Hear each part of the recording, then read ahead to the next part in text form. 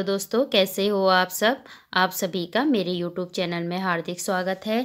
आज मैं आप लोगों के लिए बहुत ही सुंदर और बहुत ही प्यारा कार्डिगन डिज़ाइन लेके आई हूँ। इस डिज़ाइन को आप किसी भी प्रोजेक्ट पे अप्लाई कर सकते हो। बेबी स्वेटर बनानी हो या जेंट्स स्वेटर या गर्ल्स जैकेट या लेडीज़ कार्डिगन बहुत ही सुंदर बन के आएगा ये।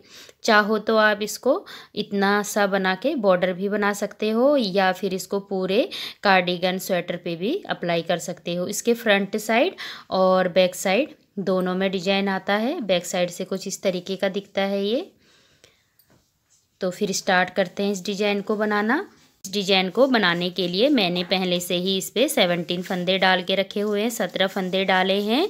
ये डिज़ाइन पाँच के मल्टीपल फंदों पे डलता है। पाँच फंदों का डिज़ाइन है और फ़र्स्ट का और लास्ट का हमने मतलब कि दो फंदे हमने एक्स्ट्रा रखे हैं इस पर ये फंदे मैंने सिर्फ़ आप लोगों को ये डिज़ाइन बना के दिखाने के लिए डाले हैं कि किस तरीके से ये डिज़ाइन बनाया है। आप लोग अपने प्रोजेक्ट के हिसाब से फंदे डालना और फिर इस डिज़ाइन को उस पर अप्लाई कर लेना। ये हमारी फ़र्स्ट रो है और फ्रंट साइड है। यहाँ पे हमने क्या करना है? फ्रंट साइड से डिज़ाइन स्टार्ट है। पहले फंदे को हमने ऐसे ही उतार लेना है। धागे को अपनी तरफ़ करके एक फंदा हम उल्टा बना लेंगे।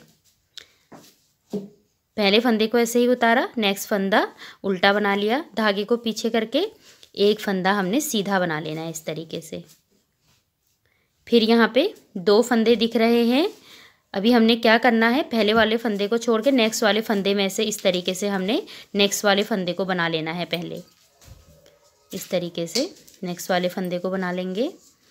और ये जो पहला वाला फंदा है, इसको भी हमने सीधा ही बना लेना है इस तरीके से। अब धागे को अपनी तरफ़ करके एक फंदा हम उल्टा बना लेंगे। ये हमारा फ़र्स्ट पैटर्न कंप्लीट हो गया। फिर यही पाँच फंदे हमने फिर से रिपीट कर लेने हैं। देखो, पहले फंदे को हमने उल्टा बना लिया, धागे को पीछे कर लेंगे। एक फंदा सीधा। अभी हमने दो फंदे में से नेक्स्ट वाले फंदे को सीधा बना लेंगे इस तरीके से। और ये जो पहला वाला फंदा है, इसको भी सीधा ही बना लेंगे। पहले नेक्स्ट वाला फंदा बनाएँगे, फिर पहले वाला फंदा। और धागे को अपनी तरफ़ करके एक फंदा उल्टा बना लेंगे। देखो ये पाँच फंदे हमने रिपीट कर लिए और नेक्स्ट पैटर्न कंप्लीट हो गया। फिर से हमने थर्ड पैटर्न रिपीट कर लेना है। पहले फंदे को उल्टा बना लेंगे। धागे को पीछे करके एक फंदा सीधा फिर यहाँ पे पहले वाले फंदे को छोड़ देंगे। नेक्स्ट वाला फंदा हमने सीधा बना लेना है। और ये जो पहला फंदा है, इसको हम बाद में बनाएँगे।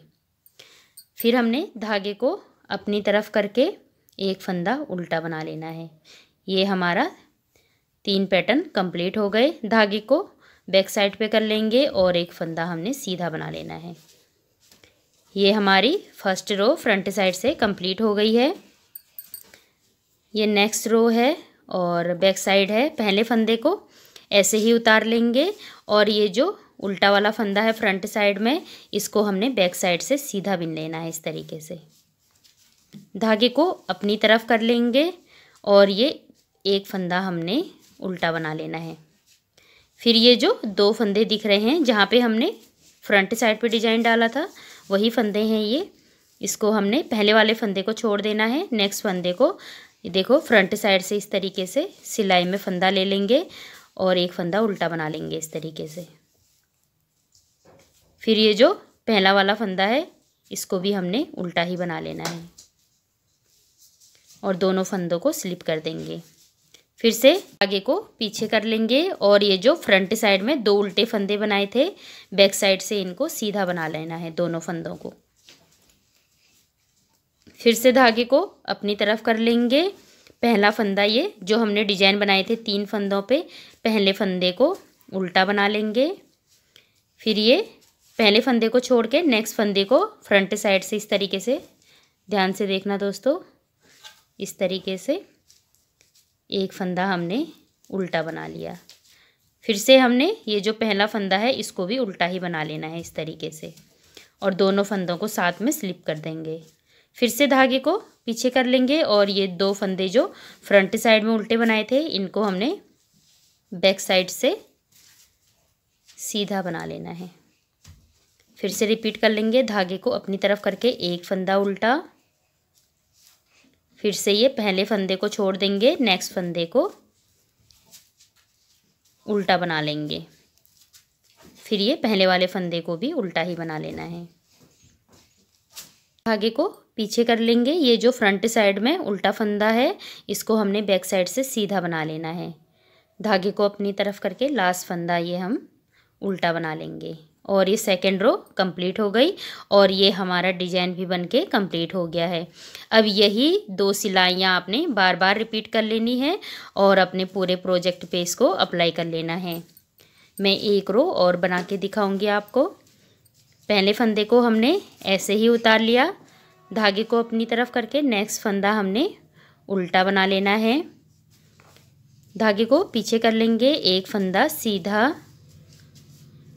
फिर ये पहले वाले फंदे को छोड़ के नेक्स्ट वाले फंदे को हमने सीधा बना लेना है। अभी फंदा छोड़ना नहीं है और ये जो पहला वाला फंदा है, इसको भी सीधा ही बना लेंगे और दोनों फंदों को साथ में स्लिप कर देंगे इस तरीके से। धागे को अपनी तरफ़ करके एक फंदा उल्टा बना लेंगे पहले। और ये फ़र्स्ट पैटर्न कंप्लीट हो गया। फिर से यही पाँच फंदे रिपीट कर लेने हैं। पहला फंदा उल्टा। धागे को पीछे यहाँ पे दो फंदे उल्टे हो गए वैसे। फिर एक फंदा सीधा। पहला वाला फंदा छोड़ के नेक्स्ट वाले फंदे को सीधा बना लेंगे। फिर हम पहले वाले फंदे को भी सीधा ही बना लेंगे।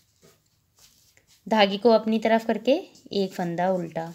सेकेंड पैटर्न कंप्लीट हो गया। फिर से रिपीट कर लेंगे पाँच फंदे। एक फंदा उल्टा, धागे को पीछे, एक फंदा सीधा। फिर ये पहले वाले फंदे को छोड़ के नेक्स्ट वाले फंदे को सीधा बना लेंगे। फिर ये पहले वाले फंदे को भी सीधा ही बना लेंगे। धागे को अपनी तरफ़, एक फंदा उल्टा। थर्ड पैटर्न भी कंप्लीट हो गया। धागे को पीछे करके एक फंदा सीधा। देखो दोस्तों फ़र्स्ट रो कंप्लीट हो गई। फिर पहले जो हमने रो बनाई थी, उसी तरीके से बना लेना है। पहले फंदे को ऐसे ही उतार लेंगे। धागे को पीछे करके एक फंदा सीधा धागे को अपनी तरफ़, एक फंदा ये पहले वाला हम उल्टा बना लेंगे। फिर ये पहला वाला फंदा छोड़ देंगे। नेक्स्ट वाले फंदे को फ्रंट साइड से इस तरीके से सिलाई पे फंदा ले लेंगे और बैक साइड से उल्टा बना लेंगे। अभी छोड़ना नहीं है। पहले हम पहले वाले फंदे को भी उल्टा बना लेंगे और दोनों फंदों को स्लिप कर देंगे। फिर धागे को पीछे करके दो फंदे सीधे धागे को अपनी तरफ़, पहला फंदा उल्टा, फिर ये फ़र्स्ट फंदा छोड़ के नेक्स्ट वाले फंदे को भी उल्टा ही बना लेंगे। और यहाँ पे पहले वाले फंदे को भी उल्टा बना लेंगे, दोनों फंदों को स्लिप कर लेंगे। धागे को पीछे करके दो फंदे सीधे धागे को अपनी तरफ़ एक फंदा उल्टा और ये पहले वाले फंदे को छोड़ लेंगे और ये नेक्स्ट वाले फंदे को उल्टा बना लेंगे और फिर पहले वाले फंदे को भी उल्टा ही बना लेना है। धागे को पीछे करके एक फंदा सीधा, धागे को अपनी तरफ़ लास्ट फंदा ये उल्टा बना लेंगे। देखो दोस्तों बार बार यही दो सिलाइयाँ आपने रिपीट कर लेना है। इस तरीके से हर बार ये सिलाइयाँ रिपीट करोगे तो इस तरीके का डिज़ाइन बन के आएगा। बहुत ही सुंदर डिज़ाइन है, आप लोग इसको ज़रूर ट्राई करना और मेरे को कमेंट करके बताना कि आपको डिज़ाइन कैसा लगा। और अगर आप लोगों को मेरी वीडियो अच्छी लगी हो तो मेरे चैनल को लाइक सब्सक्राइब शेयर कर देना बेल आइकन को भी दबा देना, ताकि मैं इस तरीके की कोई भी वीडियो डालूँ, उसकी नोटिफिकेशन आप तक आ जाए। Thanks for watching